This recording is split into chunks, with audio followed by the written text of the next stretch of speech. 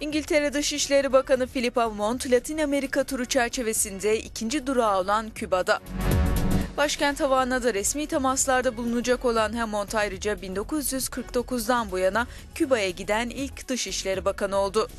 Hammond'un ilk durağı ise Kolombiya'ydı.